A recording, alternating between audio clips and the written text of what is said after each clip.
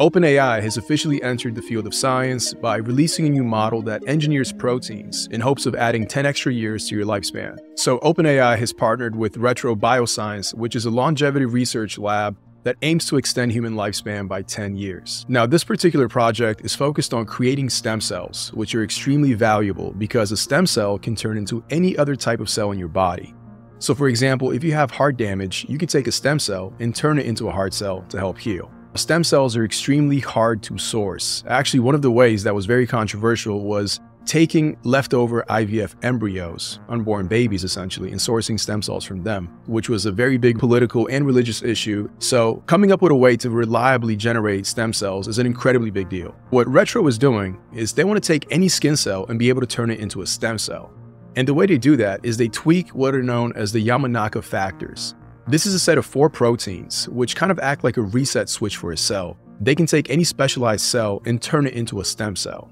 The problem is these Yamanaka proteins are very unstructured, which is why AI models like Google's AlphaFold would not work in this scenario. But the biggest problem is that the current process is wildly inefficient.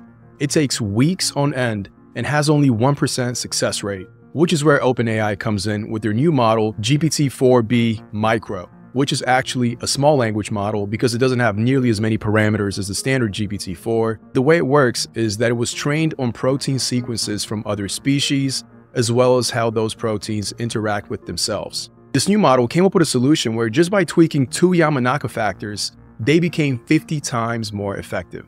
The Retro CEO said, We threw this model into the lab immediately and we got real world results. The model's ideas were unusually good, leading to improvements over the original Yamanaka factors in a substantial fraction of cases.